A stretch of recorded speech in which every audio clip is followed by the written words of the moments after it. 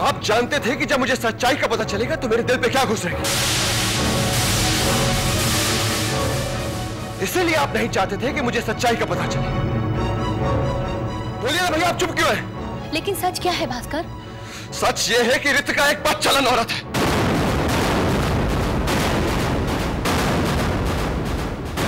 इसने भैया पे झूठा इल्ज़ाम लगाया। नहीं नहीं ये कैसे हो सकता है भास्कर? यही सच है मीनाक्षी। रात होटल शिकारा में। रितिका और, और करण। एक ही कमरे में थे।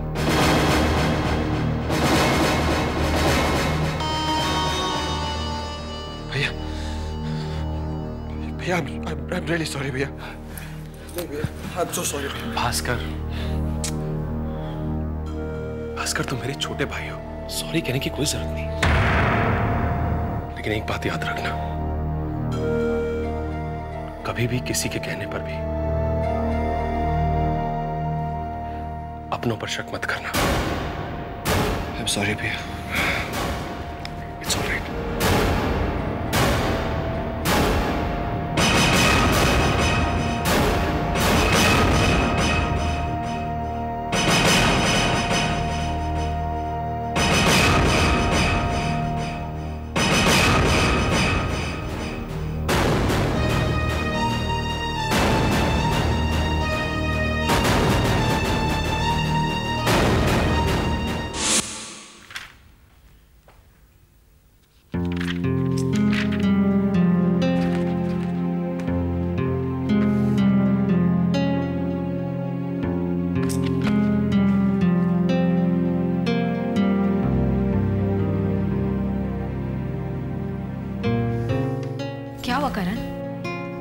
इतने परेशान क्यों हो तुम?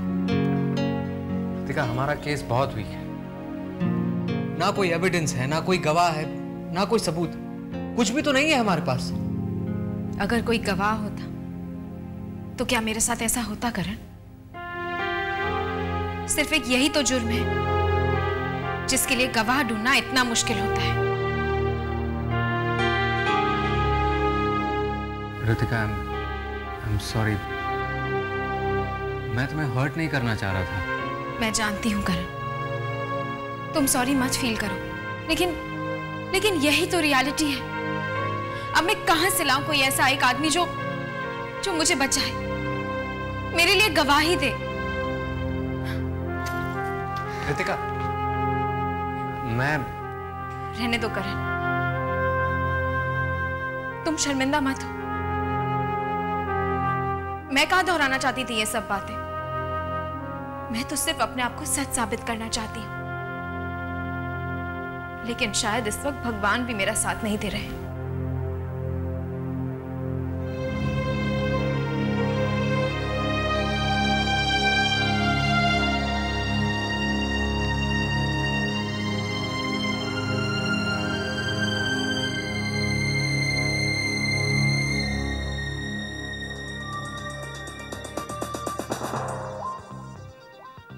आइए अब चलते हैं बिज़नेस न्यूज़ की ओर। Chain of hotel desert rose ने अब होटल शिकारा के साथ टाई अप किया है। होटल शिकारा के जनरल मैनेजर मिस्टर जोसेफ हमारे साथ है जो इस वक्त मुंबई में है। मिस्टर जोसेफ हमारे स्टूडियो में आपका स्वागत है। अ, ये जो पूरी इंडस्ट्री आप आपने जो काम शुरू किया है किस प्रकार का ये काम होगा किस प्रकार का टाइप होगा ये? शिकारा के साथ जो हमने टाइप किया है और सोच समझ किया और मुझे पूरा अनुमान है कि शिकारा और हम लोग दोनों एक साथ। देखिए जहाँ तक फ़िलहाल तो और हम लोग की कोशिश है कि हिंदुस्तान के हर शहर में हमारे सितारा का ब्रांच है। क्या खासियत है आपके होटल के पूरे? खासियत तो काफ़ी है पर करण ये तो वही मैनेजर हाँ है ऋतिका ये वही मैनेजर है। आप कहाँ ठहरे हुए रॉयल पाम्स में ठहरा हूँ जी हाँ। अच्छा तो ये रॉयल पाम्स में है। ऋतिका चलो। करीब ये मैनेजर हमारे बहुत काम आएगा। लेकिन करण अगर ऋतिका लेकिन लेकिन कुछ नहीं। बस इसी से एक उम्मीद है हमें। चलो।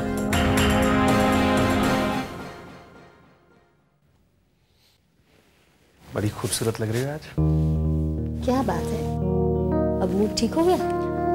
मूड तो ठीक होगा ही ना। वो रितिका मुझे झूठा प्रूफ करना चाह रही थी। और अब तो भास्कर को भी सच्चाई पता लग गई है। मैं तो पहले ही कहती थी। सच सच होता है। झूठ तो एक ना एक दिन पकड़ा ही जाता है। क्यों? हाँ वो तो है। और ये ऐसी आँखें फाड़ फाड़ के क्या देख रहा तू मेरे को? अरे तेरी तुम औरतें भी कमाल होती हो। कभी भी टीवी देख सकती हो। बंद करो इसे। चौबीस घंटे टीवी देखते हो बंद करो। दो मिनट थोड़ी देर देख लो बस। कम ऑन दो मिनट बस देखो देखो। प्रकार का ये वेंचर है आपका ये जो लता रोको इसे मुझे देखना है। देखिए हमारा शिकारा होटल एक कामयाब होटल है।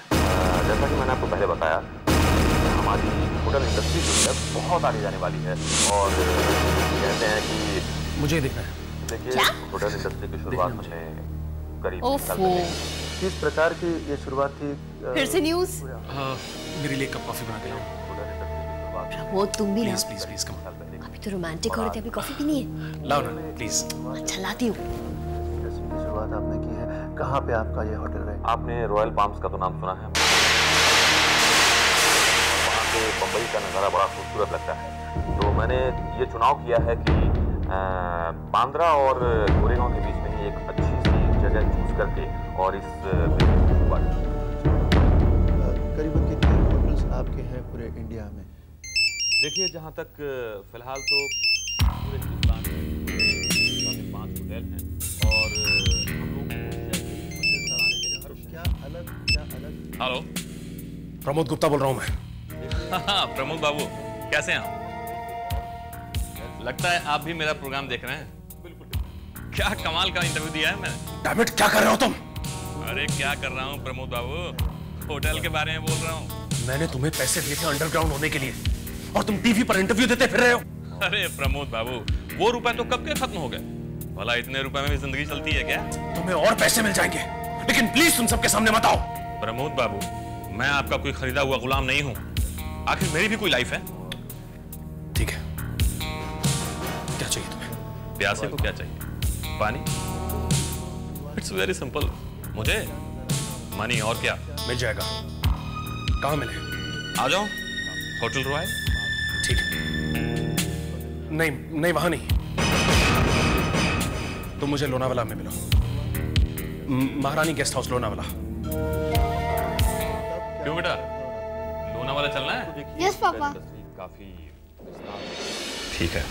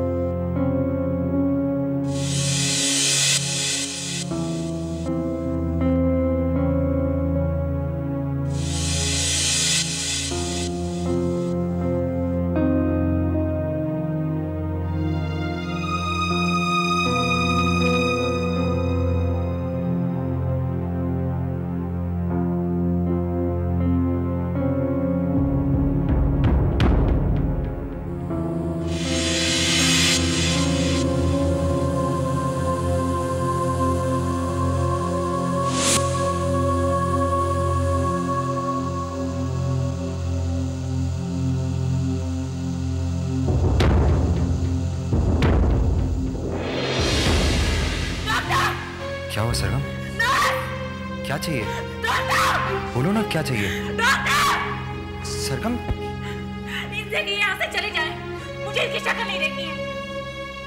Just ask him to leave फिर अब चले जाओ यहाँ से।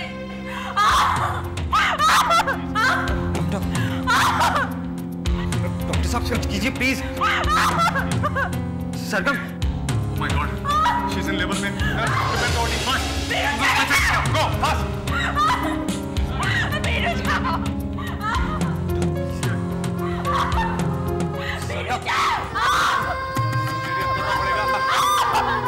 बच्चे की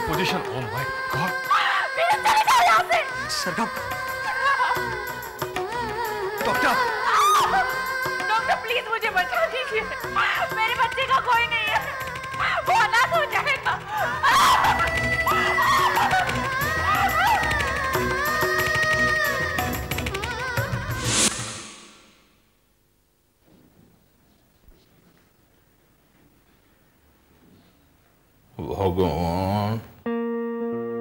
सर्वों को कर। आप चिंता मत कीजिए भाई जी सब ठीक हो जाएगा। मैंने सत्यनारायण की कथा मानी है। और मखदूम शाह बाबा की दरगाह पर चादर भी बाबा सब ठीक करेंगे। मुझे जो चिंता इस बात की है कैसे गाँव को तो को सरगम को जब होश आएगा तो सामने वीनू बाबा को ही तो देखेगी। इतने के बाद वो तीनों को देख भी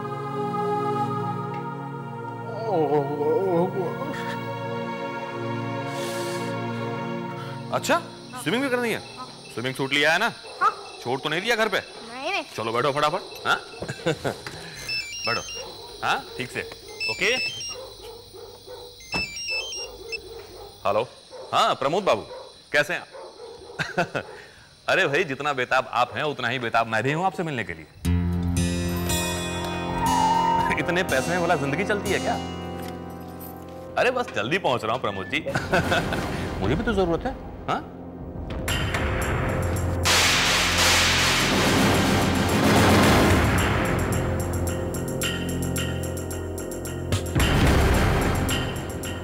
मैनेजर।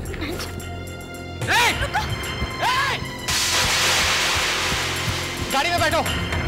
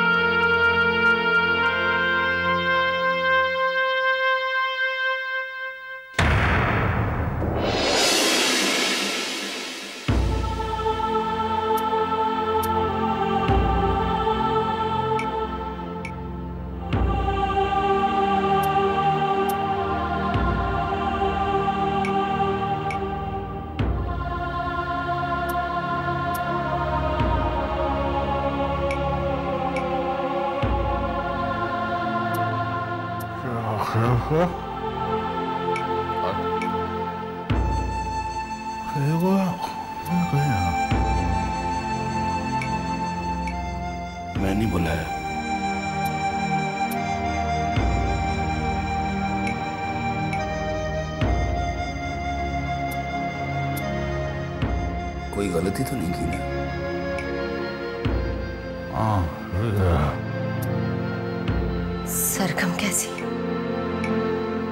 ऑपरेशन चल रहा है।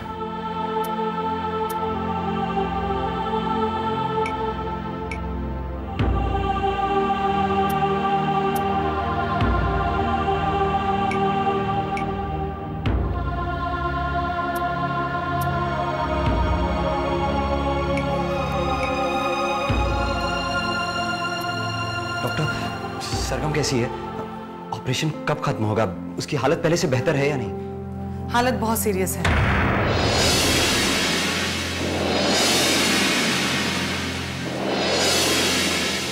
जस्ट प्रे टू गॉड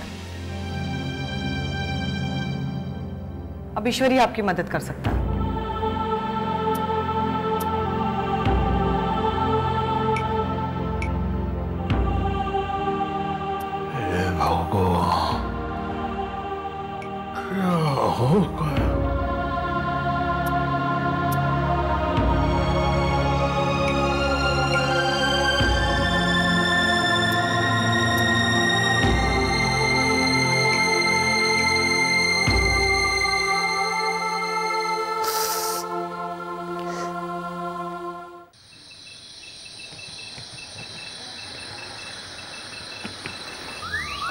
लक्ष ठेवा गाडी येईल तिकडे खाली सगळं व्यवस्थित लक्ष ठेवा हाँ? कोणी आलं ताबडतोब चेक करा।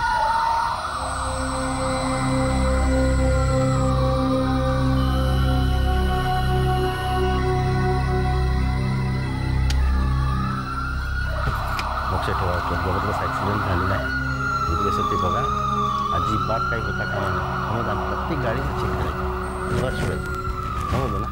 लक्ष आहे ना? एक्सक्यूज मी क्या हुआ इंस्पेक्टर साहब? एक्सीडेंट लगता है कोई भी नहीं बचा। जो कुछ भी गाड़ी में था, खाई में गिर गया।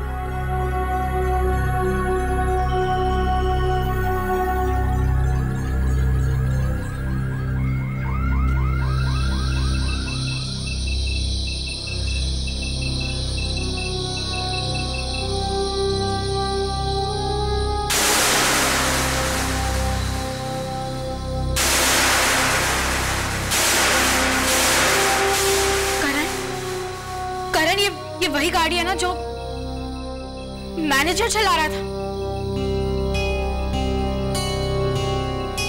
इंस्पेक्टर साहब इस गाड़ी में से किसी की बचने की नो चांस। खाई गहरी है? लेट्स सी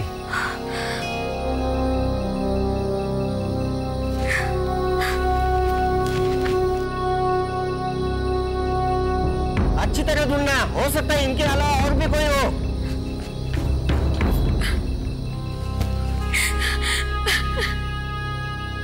कृतिका करण। मैं हार गई करण। कुछ नहीं हो सकता। एक, एक वही आदमी था जो मेरे लिए कुछ कर सकता था मुझे बचा सकता था। मैं हार गई। हार गई मैं।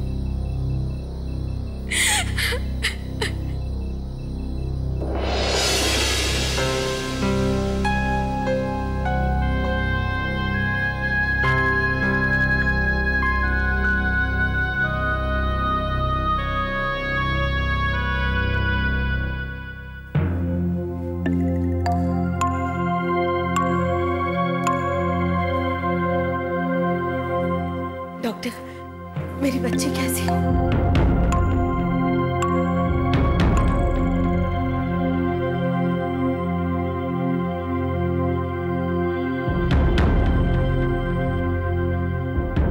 बड़ी मुश्किल से बचाया है उन्हें।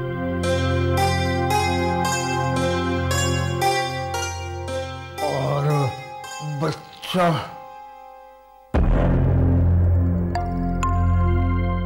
वो तो बच गई है, लेकिन लेकिन